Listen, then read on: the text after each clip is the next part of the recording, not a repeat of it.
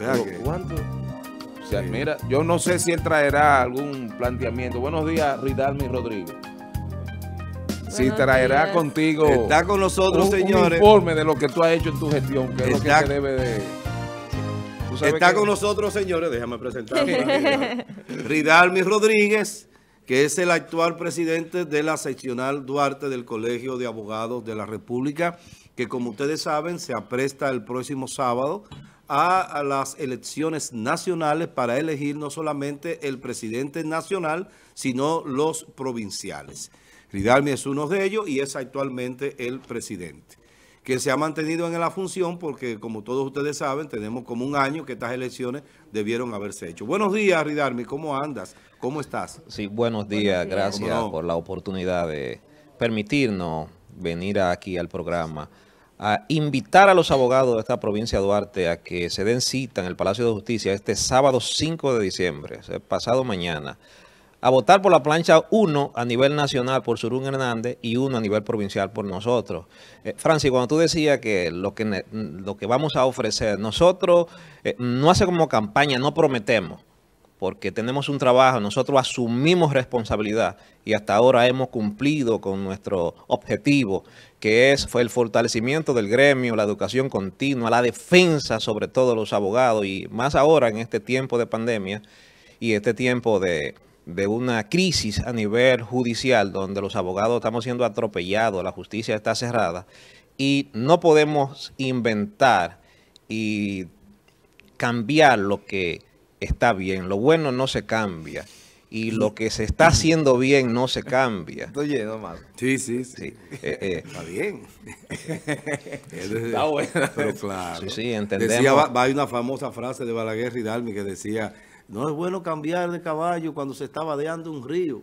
Se está Sí, esta palabrita. Imagínate, Sí. en medio del río tú cambiar de caballo. Sí, eh, porque no eh, tiene la, sentido. la situación que se está dando ahora, eh, eh, es, el abogado está pasando por momentos difíciles, muy difíciles a nivel económico, a nivel de, de trabajo y nosotros hemos eh, iniciado una lucha constante que no se puede detener. Los avances que tiene el colegio, cuando nosotros llegamos al colegio, el colegio estaba cerrado. El colegio tenía una oficina pequeña, no se daban servicios y nosotros ampliamos, conseguimos eh, eh, que nos cambiaran el local y tenemos un local como debe de ser, un local que representa a los abogados. O sea, nosotros hemos innovado a nivel de, de gremio y necesitamos el apoyo de todos los abogados este sábado 5 de diciembre. Bien, yo quiero corregirte algo que dijiste. En realidad la justicia no está cerrada. No, no, podemos, no podemos pecar de ser extremistas en las cosas que, que planteamos. Eh, porque la justicia eh, eh, se está ofertando un servicio que no es adecuado para, por ejemplo, yo no me imagino, yo no me imagino un interrogatorio o un contrainterrogatorio de manera virtual a través de la computadora. Esas son cosas que no se pueden ni pensar. Pero realmente sí hay apertura porque los tribunales están ofreciendo audiencias presenciales. El testigo con el abogado proponente ahí. Exacto, sí. eh, desde una pantalla. Y Lo- yo con una chuleta ya. Lo cierto es que la virtualidad tiene cosas Sí, buenas y malas. se da eso. Para depósito de documentos y ese tipo de cosas, yo pienso que son para ciertas diligencias procesales. Yo pienso que es ideal porque te evita muchas cosas. Tú coges- Bueno, cuando yo tengo que ir para el este. Exactamente. Sí. Pero, pero, pero, para lo que la- el, el Poder Judicial ha pretendido, yo no creo que se preste. Entonces, lo que hay es que equilibrar un poco la situación en el sentido del servicio que se da. Lo que pasa es que la virtualidad como tal, los tribunales pueden estar abiertos, las puertas pueden estar abiertas, Sí. pero cuando usted va y deposita cualquier solicitud, cualquier cosa, que antes duraba un día, ahora le dura dos meses. O sea, hay una, un problema grave y nosotros estamos librando esa batalla. Surún Hernández es la única persona que se ha atrevido a hacerle frente a un poder, un poder que dicho sea de paso se ha convertido en un dictador. Y eso es lo que necesitamos, que continúe esa lucha y necesitamos el apoyo de los abogados que asuman esa responsabilidad una a cosa. Más que Surún Hernández, más que Surún Hernández, eh, los jueces que están ahí adentro, Deben que han- que han enfrentado eso, eh, también lo han hecho. O sea, Surún no ha sido... No, pero que deben el empantalonarse aquí No, en no, todos no, lados. Surún no es el único. Pero te voy a decir algo. Lo que decía Ridarme, yo quiero que tú me digas. Cuando tú hablas de que Surún lo ha enfrentado y que, el colegio, y que eso lo hay que darle continuidad, ¿Qué fue lo que se logró en principio cuando hubo un proceso y en qué jurisdicción fue que se llevó? ¿Y cuál fue la decisión? Fruto de una acción judicial, porque Surún ha librado una batalla en todos los escenarios. De una acción judicial ante el Tribunal Superior Administrativo, se logró una sentencia donde ordenaba la apertura de los tribunales en todo su esplendor, cosa que no ha pasado. Aquí tú tienes una secretaría común donde es un centro de digitalización, no una secretaría como tal. Tú quieres acceder a una secretaría y no puedes. No puede, no porque el tribunal no quiera dar los servicios, sino porque se lo prohíben. Entonces, Surún elevó recurso de inconstitucionalidad ante el Tribunal Constitucional, estamos en espera de fallo, y logró esa sentencia del Tribunal Superior Administrativo. Es decir, que hoy día el, el Consejo del Poder Judicial se ha convertido en un, en un desconocedor de la decisión de ese tribunal. Sí, eh, es un asunto sumamente complicado que un juez, o sea, un tribunal, que es el llamado a tutelar los derechos, desacate una sentencia. Eso fue tal extremo que el primer sustituto del presidente de la Suprema, Herrera Carbucia, le solicitó por escrito que abrieran los tribunales, que se estaba violando la tutela. Temas laborales. Sí, en laboral. El, el primer sustituto del presidente de la Suprema. Es decir, que no es un invento, no es una lucha por hacerle daño al presidente de la Suprema, no. su, segundo al mando eh, eh, ha corroborado esas violaciones. Mira, el, la eh, ¿cómo te digo? La desazón más grande que ha sentido tanta gente con relación a Henry Molina, yo estoy dentro de esa gente porque yo lo conozco hace mucho, y uno esperaba otra cosa. Pero la actitud de él, él, se ha hecho tan odioso ante los ojos de la gente que si el Consejo del Poder Judicial, no, no, el Consejo Nacional de la Magistratura, lo saca por un brazo de la presidencia de la Suprema, la gente va a aplaudir aunque sea ilegal. O sea, yo no entiendo cómo se parece a un cuento. Hay, hay una frase que dice que el, el, ahí estamos de acuerdo. El matrimonio, el, matrimonio es un procedimiento químico mediante el cual una media naranja se convierte en un medio limón. Y, eso ha pasado con él. Disculpa, este, este poeta del diablo. Que te ¿eh? interrumpí. Oye, ¿cómo es que te dice poeta del diablo? Sí, maldito poeta del diablo. Dime, eh, Carolina. Eh, vamos a, destacar en el caso de de acá de San Francisco y la provincia, en principio hablabas de los logros eh, de la parte de la oficina que la han habilitado, que están dando servicios. ¿Qué más podrías eh, decirnos y, eh, al, gremio de tu, hoy, hay, hoy hay diplomado. de tu gestión y qué aspiraciones tienes de continuar cambiando la imagen aquí a nivel local? tú sabes que nosotros no hemos preocupado mucho, mucho por la educación de los abogados. Hemos eh, eh, ofertado diplomado mensual. O sea, aquí los abogados tienen plena capacidad y preparación porque el colegio ha asumido esa responsabilidad. Eh, el abogado cuenta con seguro médico. Nosotros aquí poseemos una compañía, una ONG para que todos los abogados tengan seguro médico. En este tiempo de pandemia, en todos los tiempos, hemos dado una asistencia social fuerte, porque a raíz de los cierres y la situación de la pandemia, eh, eh, hay muchos abogados de escasos recursos y nosotros hemos asumido esas responsabilidades. En fin, eh, nosotros aspiramos a continuar el colegio porque el objetivo de nosotros es que el gremio se identifique. Una, en una ocasión que veníamos aquí, decíamos que necesitábamos una, un colegio que no respondiera a asunto político, que todos los abogados se sientan identificados y así, al igual que los médicos, que los profesores, tengamos un, un gremio fortalecido. Eso es lo que nosotros aspiramos. El tema de la política es un tema que ha afectado mucho al Colegio de Abogados durante su nacimiento. Yo soy fundador del colegio, yo comencé con la primera con la primera directiva nacional, presidida por Fernando Hernández Díaz, que por cierto falleció a mediados de este año. Eh, y definitivamente eso... Pero ha habido gente política, o el caso tuyo, que era un hombre que está también ligado a la política y a un partido que ha hecho un trabajo. Eso hay que reconocerle a Ridalmi, que ha hecho un trabajo que quizás otras seccionales no lo han hecho. O sea, esas son de las cosas que tú puedes ofertarle al público. Así como dice que no haces eh, oferta porque, ¿verdad? Eh, quiere mantener eso sin, sin hacer ofrecimiento que luego no pueda cumplir.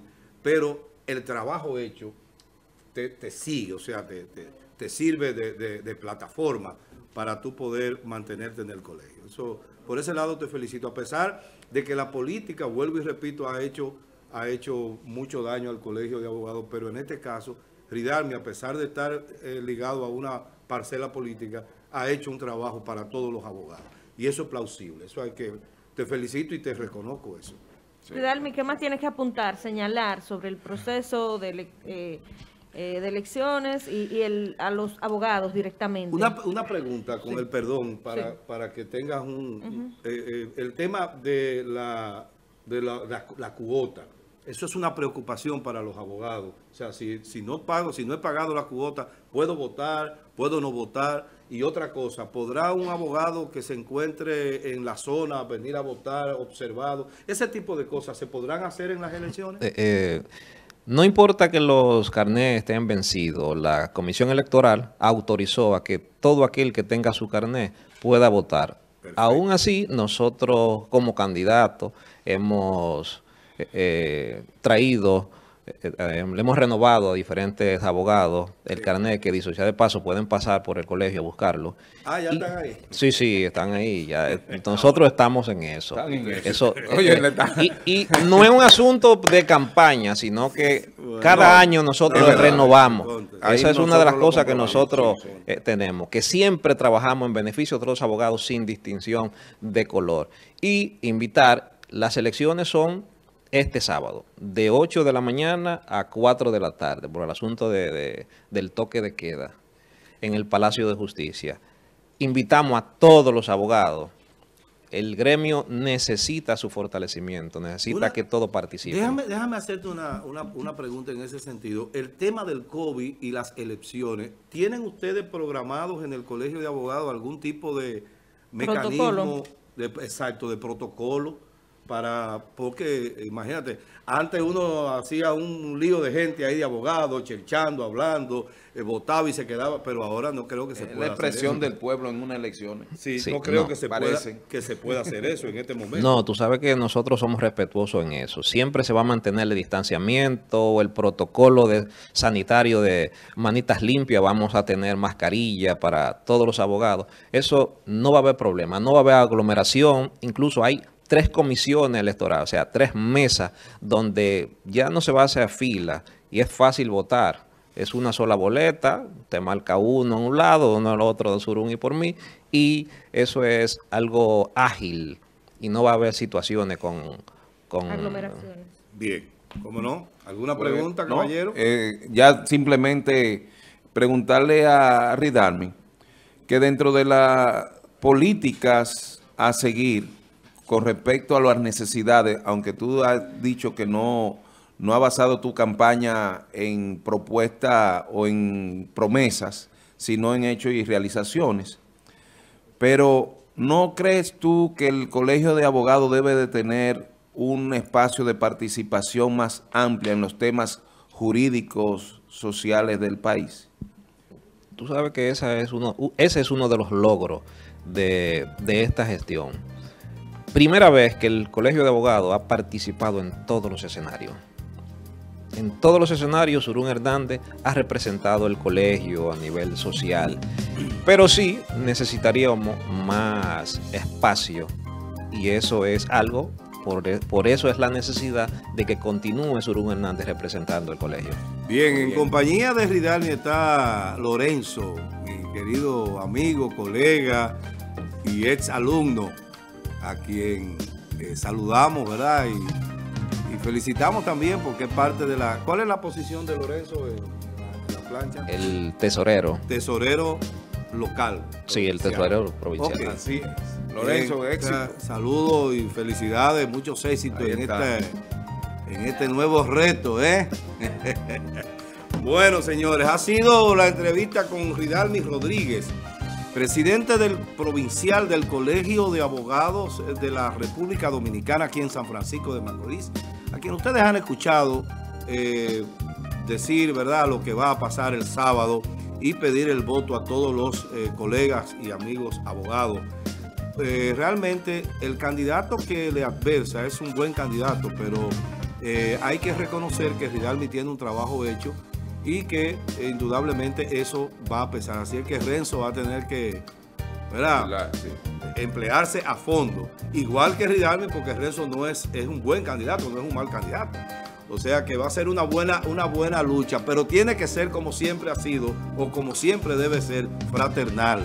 Así es que éxito, Ridalmi, en, esta, en estas próximas elecciones del sábado. A los abogados, que no hay problema, pueden ir a votar con su carnet, no importa que esté renovado o no, eh, pueden votar y que vayan masivamente, claro, respetando el distanciamiento social, su mascarilla, manita limpia que habrá en el colegio para resolver en caso de que no tengan. Bueno, vamos a una llamada, señores. Nosotros, Gracias a Ridalmi por Sí. la visita y la propuesta. así es. Vamos a la llamada. Buenos días. Buen día. Saludos. Este es el colega Pacheco. Ah, Pacheco. Tú votas Sí, en el colegio de abogados, ¿verdad? Adiós. Y no soy abogado. ¿Cómo que sí voto? Adiós, Ridal. Sí, mira, eh, esta gestión que lleva el colega, por lo menos cada vez que yo iba a votar, tenía algunos problemas porque cuando yo me juramenté, yo inmediatamente fui a la zona colonial con, con la fiebre. Sí, sí, sí. Y saqué el carnet de una allá. vez. Oye, y cada vez que había elecciones yo tenía que firmar. Ya. Observado. Entonces, de manera que esa gestión, por lo menos esto hizo... Lo esto resolvió. Por mí y por otro abogado, de manera que nosotros apoyamos esa plancha. Menos a Turum, lo apoyo a él. Correcto. Es así. Está bien, está bien, pero está bien. No hay problema. Bueno, Bueno, gracias Pacheco por la llamada. Señores, nosotros vamos a la pausa. Regresamos en breve, no se vayan. Todavía queda mucho más contenido del programa de mañana.